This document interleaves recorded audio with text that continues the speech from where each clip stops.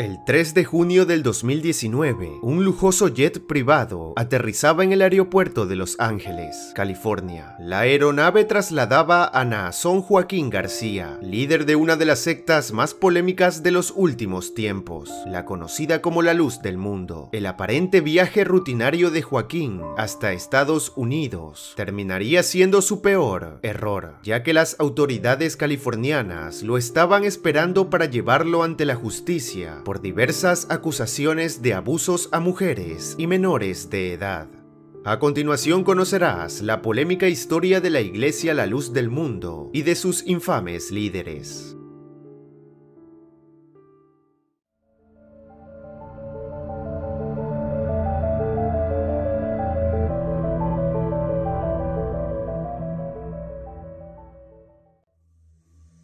Origen de la Iglesia La Luz del Mundo se remonta a 1926. Por aquellos días, el gobierno mexicano buscaba modernizar y centralizar el Estado, así que empezó a limitar la influencia de la Iglesia Católica en las decisiones gubernamentales y el manejo del país. Justamente en pleno conflicto entre la Iglesia y el gobierno, surge la figura de Eusebio Joaquín González, quien afirmó haber tenido una visión en donde supuestamente Dios le habría cambiado el nombre por el de Aarón y le ordenó salir de Monterrey, en donde se encontraba radicado. Eusebio Joaquín González nació el 14 de agosto de 1896 en Colotlán, Jalisco. Nacido en el seno de una familia humilde, Eusebio y sus tres hermanos ayudaban en las actividades agrícolas y comerciales de sus padres. En 1917 decidió alistarse en el ejército y en una de las visitas que realizó a su familia conocería la que sería su esposa, una mujer llamada Elisa Flores. Sería Elisa quien se toparía con dos predicadores de una iglesia pentecostal y con el tiempo convencería a su ya esposo Eusebio para que la acompañara a las reuniones religiosas. Eventualmente ambos se bautizarían en esa fe. Eusebio dejó a un lado su vida militar, dedicándose de lleno a la prédica religiosa y trasladándose con su familia a Monterrey en 1925, un año después recibiría la supuesta visita de Dios, por lo que inició una larga y conflictiva peregrinación hasta radicarse definitivamente en Guadalajara. Pronto lograría agrupar a sus primeros 20 seguidores fieles, quienes llegaron a afirmar que era un hombre que realizaba milagros. Junto a ellos empezaría a vender buñuelos para solventarse económicamente, y poco a poco su comunidad fue creciendo. Fueron apareciendo nuevos y mejores ingresos para la misma, por lo que tuvo que jerarquizarla. Pero en 1942 se suscitaría un gran conflicto dentro de la luz del mundo. Al menos 250 miembros abandonaron la comunidad, ya que estaban dándose grandes muestras de culto a la personalidad del ahora conocido como Aarón Joaquín. En ese momento iniciaron las controversias para la luz del mundo, controversias que al día de hoy continúan latentes. Los disidentes acusaron al líder, quien ostentaba el título de El Siervo de Dios, de haberse enriquecido a costa de sus devotos, de cometer actos inmorales con mujeres jóvenes y de haber engendrado un hijo con una joven llamada Guadalupe Abelar. La disputa finalizó con los disidentes formando su propio grupo religioso, mientras que Aarón Joaquín se mantuvo firme como líder de la luz del mundo, a pesar de la controversia. Aarón Joaquín pensaba en grande, anhelaba proteger a sus seguidores de la supuesta mala influencia de la sociedad, por lo que en 1952 se dio a la tarea de construir una colonia en Guadalajara, a la que bautizaría como Hermosa Provincia, actual sede de la luz del mundo. Posteriormente asentaría las bases para expandir su iglesia a varios países. Pero el 8 de junio de 1964, los miembros de la luz del mundo se quedarían sin su líder. Aarón Joaquín González fallecería a los 68 años de edad. Su fecha de nacimiento se fusionó con la ceremonia más sagrada para los miembros de este grupo religioso, la llamada Santa Cena, siendo una muestra clara del latente culto a la personalidad que existía con este personaje. Tras la muerte de Aarón Joaquín, su hijo Samuel Joaquín Flores asumió el liderazgo de la Iglesia de la Luz del Mundo. En un inicio los miembros más antiguos de la organización no creían que fuera capaz de asumir el cargo, pero el nuevo líder se rodeó de un grupo de miembros a los que llamó incondicionales, con quienes consolidó su poder. Por aquellos días, la luz del mundo contaba con aproximadamente 30.000 miembros repartidos en cinco países, incluyendo México. Pero con Samuel Joaquín, la iglesia crecería masivamente y se extendería a nuevos países. Además de la expansión, la inversión en negocios inmobiliarios por todo el mundo y la creación de medios de comunicación propios de la iglesia. En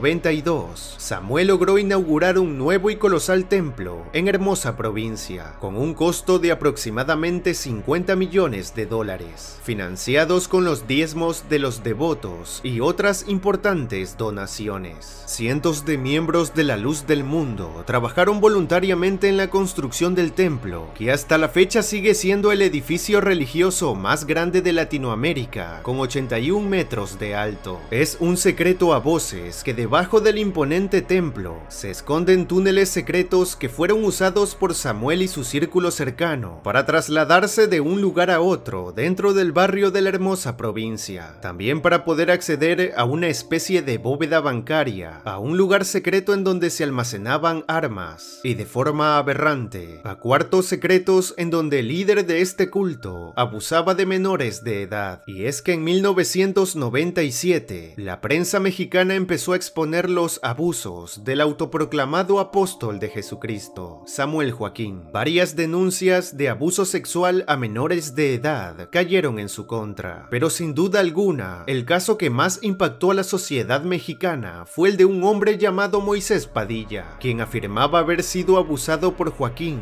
cuando tenía 16 años de edad. Padilla denunció al líder del culto, pero al poco tiempo sería secuestrado, torturado y apuñalado en 69 ocasiones. Milagrosamente lograría sobrevivir para exponer en televisión nacional su caso. Samuel Joaquín fungía como un completo líder de culto, controlaba la vida de sus seguidores en todos los aspectos de la cotidianidad, incluyendo las parejas para efectuar matrimonios. Dentro de su grupo de incondicionales también existían mujeres y niñas, quienes eran abusadas constantemente por este nefasto personaje. Sus secretarias se encargaban de buscar niñas dentro de la enorme comunidad para que sirvieran al líder y las entrenaban para satisfacer sus más oscuros instintos, mientras que las mujeres que se negaban a obedecerlo eran sometidas a terribles golpizas. Pero a pesar de todas las denuncias y los escándalos que se fueron acumulando con los años en contra de Joaquín,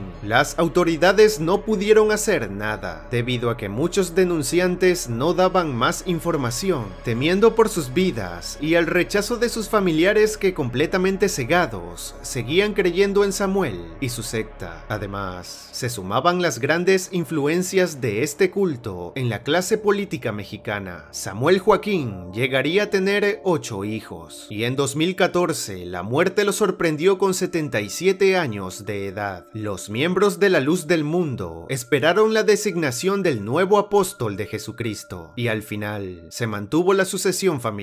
Pero al contrario de lo que muchos creían, su hijo mayor Benjamín no fue el elegido, siendo el cargo traspasado al quinto hijo de Samuel, Nazón Joaquín García. Nazón Joaquín nació el 7 de mayo de 1969. Había fungido como pastor en varias congregaciones de la luz del mundo. Además expandió los medios de comunicación de la iglesia en Estados Unidos y buscaba crear una especie de ciudad teocrática en el mismo país. Pero tras había sido testigo en primera fila de todos los actos atroces de su padre. Actos que replicó antes y después de ser designado como líder de la secta. Nazón y sus tres hijos vivían una vida de lujos, viajaban por el mundo y se codiaban con grandes personalidades mexicanas. De hecho, su cumpleaños número 50 lo celebró en el mismísimo Palacio de Bellas Artes, el lugar más importante orientado a las artes en todo México, lo que causó gran controversia por aquellos días. Pero de forma paralela, un grupo de mujeres que habían sufrido abusos por parte de los Joaquín empezaron a reunirse virtualmente en grupos de Reddit y otras redes sociales, hasta que una antigua devota muy cercana a Nazón Joaquín decidió exponer públicamente los abusos y denunciar a la iglesia junto a su líder. El nombre de esta mujer era Xochitl Martin. Xochitl contó en los medios los innumerables actos de de torturas y abusos a los que fue sometida por parte de Samuel y Nazón Joaquín, mientras que varios abusos a menores de edad fueron cometidos por Naasón en las distintas propiedades de la secta ubicadas en Estados Unidos. Poco a poco más denuncias contra Naasón Joaquín fueron llegando, hasta que fiscales del condado de Los Ángeles lo acusaron de 23 delitos relacionados a abuso de menores, y fue capturado en junio del 2019 en el aeropuerto de Los Ángeles. Su casa fue completamente registrada y se encontró material audiovisual que corroboraba los abusos infantiles. También fueron detenidas Alondra Ocampo y Susana Medina como cómplices y facilitadoras en los abusos, mientras que una tercera mujer involucrada, de nombre Azalia Rangel, hasta la fecha continúa prófuga. Dos días antes de su juicio, Naasón Joaquín García se declaró culpable de tres de los 23 cargos a los que había sido acusado, evitando de esta forma entrar a un largo juicio que lo podía condenar a cadena perpetua. En junio del 2022, el líder de la luz del mundo fue declarado culpable y condenado a tan solo 16 años y 8 meses de prisión, sentencia que resulta injusta para las víctimas, teniendo como referencia casos similares como el del líder de la secta Nexium, Kid Ranier, que fue condenado a 120 años de cárcel. Pese a todos estos terribles incidentes, la Iglesia La Luz del Mundo continúa activa. Sus creyentes esperan pacientes el regreso de su líder, y según estimaciones de la propia secta, cuentan con más de 5 millones de miembros repartidos en 58 países, que se congregan en los más de 15.000 templos de este culto. Pero a pesar de la condena, es importante recalcar que actualmente existen investigaciones penales pendientes en contra de Nazón Joaquín, tanto en Estados Unidos como en México.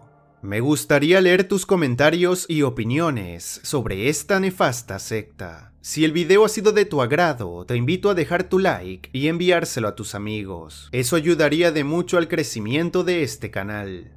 Suscríbete al canal para más contenido como este. No olvides seguirme en redes sociales. Todos los links los puedes encontrar en la descripción del presente video. Además, no olvides activar la campana de notificaciones para estar al tanto de los nuevos estrenos del canal.